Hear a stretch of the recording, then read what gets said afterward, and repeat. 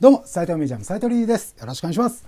さあ、本日はザ・ヒーローズ刀剣かける浮世絵。こちらのレビューをお話ししていきたいと思います。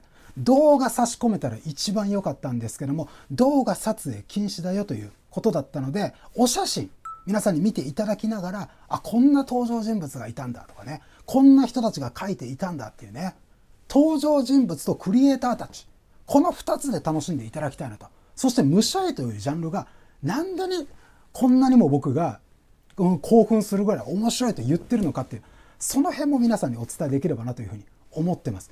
武者絵、面白いよ。武者絵めちゃくちゃ面白いんだ。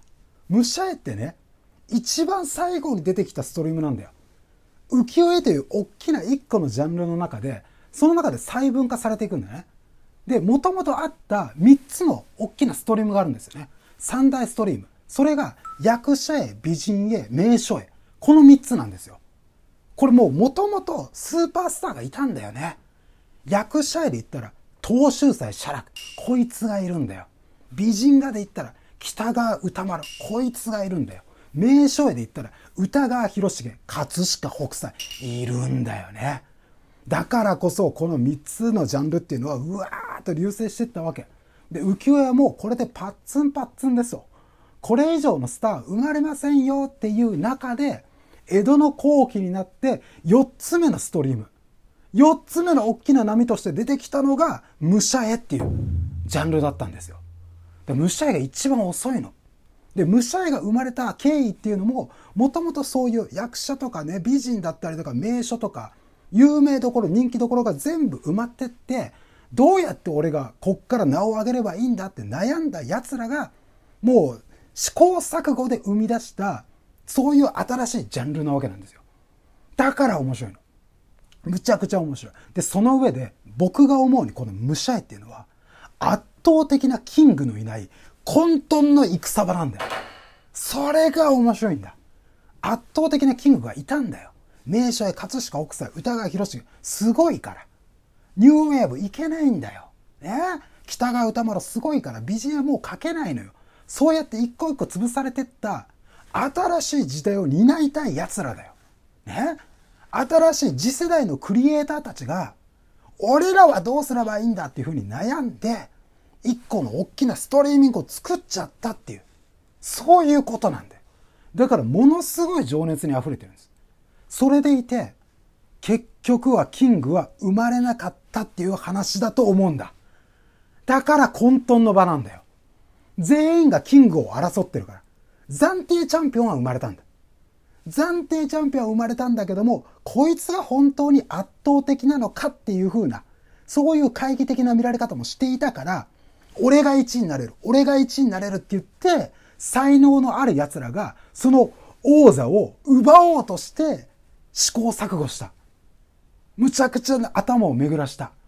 むちゃくちゃ腕を振るったっていう、そういう情熱の時代。それが武者絵。むちゃくちゃ面白いんだ。で、その上で、武者絵っていうのは制限ちょっとかかってるんですね。武者絵の制限っていうのは、豊臣、織田の時代を書いてはいけない。これが唯一にしてむちゃくちゃ最大のタブーなんだよ。なかなか困るよね。時代物だからね。基本的に。時代物書く上で戦国時代ってめちゃくちゃ盛り上がるじゃない。大河だって戦国時代がいっちゃん盛り上がるんだよ。でもそれ封印されてたの。ね？キリスト教で言えば偶像崇拝禁止って言われてたみたいに。ね？この浮世絵の武者絵というジャンルの中で、織田豊臣禁止。こう言われていたんだよ。徳川の時代だからね。江戸の時代だから、一番近いところにいた自分も戦ってなんとか勝って天下を取れたって徳川からしたら豊臣織田かっこいいっていう崇拝するような絵は描くんじゃねえよその気持ちもわかるよね。必死で勝ち取った天下だからね。徳川家も守りたかったんだよ。だからいくらカルチャーだからってそんな風な動き方するんじゃねえぞっていう厳しい遅れは出てたの。でもその制限がかかった中で扱えるジャンルがすごく限られた中で自分たちの色をどう出していくんだっていうところに頭を巡らしたから面白いってそういうふうにも言えるわけなんですよね。そう。で、それプラスですよ。この武者絵の面白いっていうのは、海外からの輸入だったっていうところもあるんですよ。ね、武者自体がじゃないよ。武者絵のテーマなんですよ。武者絵のテーマで代表的なものは中国でもともと当たっていた小説からインスピレーション湧いてとか小説がモデルになってそれを絵にしたものですよっていうのがすごく多いんですよ。その代表格が水湖伝。これも中国の民衆たちが悪性に苦しめられていてそして集団になって立ち上がって打ち滅ぼしたっていうかっこいい物語だったんだね。その物語を持ってきて浮世絵で描いたから徳川ムムムとかね徳川政権この野郎って思っていた民衆たちにブサッと刺さったっていうそういうような流れもある。そうだからタブーもあるし海外からの輸入もあるそういうニュージャンルだからこそものすごく熱かったこれ音楽で言ったらヒップホップみたいなもんなんじゃないのって僕は思ったんですよね。もうミスチルいるじゃんとかサザンいるじゃんとかスピッツいるじゃんって俺らバンドとかさその集団で音楽やりたいぜってなった時にもう全部埋まってんじゃんっていう。もうグレーもいるじゃんとかもうその全部埋まっていく中でじゃあ何やるのって海外でそれ受けてんの。じゃあ取り入れようか。ヒップホップだ。ぜこれなんじゃないっていう。こういうような流れで武者絵ってニューウェーブとして若い人たちに支持されたカルチャーだったんじゃないのっていうのが僕の分析ね。あくまでも僕の分析だけど、こうやって見ていくと、現代にもつながってきて面白いなっていうふうに感じられません？じゃあ、こっから。第2章として、どんなクリエイターたちが活躍したんだ？ここを見ていきたいと思うんですけども、まず最初に、暫定トップ。これ、歌川国吉ってやつなんだ。歌川国吉っていうのはね、歌川派って大きい一派にいて最初はもう低たらくだったんだよ適当にやってて全然売れねえなってなって30超えたぐらいで一丁本気になんないと。身を立てらんねえぞってなってそっから考えたんだよね。でそうなった時に全部埋まってるぞって言って海外物輸入してってやったってやつが歌川国吉だったんだその代表格が国吉なわけ。だからもう相馬のフル代理っていうね代表作品ありますけどこれでも分かるように演出力そして売り方そしてそれを支える圧倒的な情報量これが国吉の特徴なんだよ。ね、この骸骨相馬の古代理で言えば一番大きなね目立つ骸骨っていうのはもともとの物語でいけばちっちゃい骸骨兵隊たちがいっぱいわらわらわらっていたっていうようなウォーキングデッドみたいなねそういう物語だった。けどもそれを一個にまとめて大きい骸骨にした方が迫力あんじゃねえのっていうゴジラに変えちゃったのが国吉なんだよ。そういう新しさっていうのがあったんだね。で、そのでっけえ骸骨目立たせるためにどうやって売るか。これも考えたんだ。この売り方っていうのがもともと縦長の一枚の絵で成立させていたっていうのが浮世絵だったんですね。それを骸骨目立たせるためにはこの物語をもっと面白く伝えるためにはでけえ方がいいだろっていうので縦長を3つ横に並べてくっつけた。で、くっつけて横長で売ったの。この売り方が革新的だったんだよ。相馬の古代理っていうこの作品が有名になったのには、そういうからくりがあったわけですね。で、その上で、武者絵の中で、この歌川国吉、他と比べて何がすごかったの？やっぱ情報量なんですよ。もう超高速のラップみたいな、リリックパンパンに詰めた高速ラップみたいな、そういうかっこよさがあったのが国吉。ね、登場人物もとにかく多い。そして背景の書き込みっていうのもめちゃくちゃ細かい。この情報量を持って他と差別化を図って勝っていった。暫定チャンピオン歌川国吉。こいつがまずベースであるんですよ。で、こっからですよ。こっから面白くなってくるのがその国吉のライバルたち。ね、このライバルたちがどういう風に戦ってきたのか、これも面白いんだ。ライバル、まず一人目。国貞です。歌川国貞。こいつはね、国吉の兄弟子なんですよ。で、国吉と違って超真面目だったの。だから師匠の言われた通り美人絵だったりとか役者絵描いてて、もうすでに多ジャンルで当たってるっていうやつだったの。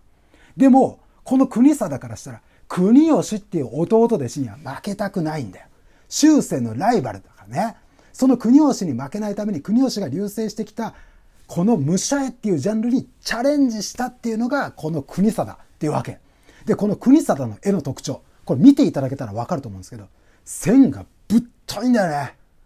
線がめちゃくちゃぶっとくて、このキャラクターっていうのがダーンって大きく描かれていて、むちゃくちゃわかりやすいんだ。すっごいインパクトがあってわかりやすい。だからこれヒップホップで言ったらもう声がでかくてわかりやすい歌詞なんだよ。だからヒットしちゃうんだよね。俺は東京生まれヒップホップ育ち。でけえ声で言ってるから、遠目で見ててもヒップホップだなってわかるんだよ。超高速リリックですげえ難しいことやってる国吉っていうのも近くで見たら近くで聞いたらこいつすげえなただものじゃねえなってなるんだけどもあんまり知らないよっていう人からしたらこの国貞がやったでけえ声で分かりやすい歌詞で歌うっていうのがむちゃくちゃ分かりやすい。もうとにかくこれが武者絵なんですねって分かりやすい形で発表したのが国貞っていうやつなんだ。ねでもねこの国吉の情報量があったでしょ？超高速ラップ国貞のでけえ声これがあってこいつらがうわーって流星してくんだけどもでけえ声と情報量って時々うるさいなっていう風に感じるよね。なんかさ、ヒップホップ好きでいっぱい聴いてるんだけど、だって今回のザ・ヒーローズって、武者へのコンピレーションアルバムみたいなことじゃないですか。ヒップホップのもう名作ばっかり集めたコンピレーションアルバム。武者へのコンピレーションアルバムが今回のザ・ヒーローズなんだよ。だから、でけえ声とすげえ情報量ずっと聞いてると疲れてくるんだよ。ちょっと疲れたなーって思った時に、なんか抜け感あるやついないのかなーっつって生まれてくんのが鳥居清永ってやつ。こいつ超抜け感あるんすよ。めちゃくちゃ抜け感あって、もうレゲエ調。一緒一緒にいてくれや的な、三木道山的な、ちょっと抜け感ある鳥居がさ、心地いいっていう瞬間があるんだよね。だから鳥居もうわって流走してくんの。で、それとちょっと似てる勝川俊帝ってやつね。こいつも少し抜け感があるから、こういう抜け感もいいじゃないっていう。チル的なやつもいいじゃないって言って人気になるやつも出てくんの。でも目立つのはやっぱり国吉。国定だねってなってる中で最後によ。最後にちょいちょい国定さん。ちょいちょい国吉さん。俺ら忘れてねえすかって生意気な奴らが出てくんだよ。こういうミスター X 集団がね、出てきたっていう、これも面白いんだ。で、このミスター X 集団の正体っていうのが、葛飾一派なんだよ。きたー激アツ北斎の弟子よ。万次郎と北緯っていうね。この二人がちょっと遅れてまた新しいカルチャー持ってくんだよ。こいつらがやったっていうのはめちゃくちゃ新しくてかっこいい演出なんだよ。演出って言ったら国吉だったでしょ？新しい演出加えてうわかっこいいってなってたけどもっと漫画チックなんだもっとアニメチックなんだよだから超新しくてぶっ刺さる雷ビッカーンとかねそれこそウォーキングデッドみたいにおいなんか骸骨たちがあっちにいるぞとかその親玉がさまたメイクしてんだよ。真っ青なメイクしてんだよね。でこれ何なんだよ。この真っ青なメイク何なんだよ親玉と歌舞伎なんだよ。歌舞伎でさもう悪のもう総大将みたいなやつは青い熊取りするんだよね。それを絵の中に入れたんだよ。カンカンカンカンカンカンカンカンカンっていうね。悪いやつ出てきたぜっていうこの演出をさ加えた上でウォーキングデッドも乗っかってんだよ。むちゃくちゃかっこいいんだ雷ビッカビカでさ光バッシャンバッシャンでさおいなんだよこのライブ演出みたいな。とんでもない演出しちゃう奴らが出てきたんだよ。それが万次郎と北緯なんだよ。すげえな葛飾派はっつって。もう僕はもう感動しきりだったよ。めちゃくちゃかっこいい。こうやって捉えてくると武者絵って面白くないですか？後から出てきてチャンピオンがいないからみんなが試行錯誤して俺がチャンピオンだっつって争ったんだよ。で、その中でも色があるんだね。声がでかいやつがいるんだ。情報量のやつがいるんだね。で、そいつらに負けねえぞっつってちょっと遅れて、こんな演出どうですかっつって、すげえ奴らが現れたりするんだよ。そういう風に軽い気持ちで、今の現代のカルチャーとどうやったら結びつくのかなっていうふうに見てみるのも今回のザ・ヒーローズ。面白い見方かもしれませんよというレビューでございました。皆さんぜひともザ・ヒーローズ刀剣かける浮世絵足を運んでみてください。斉藤ミュージアム斉藤リリーでした。ありがとうございました。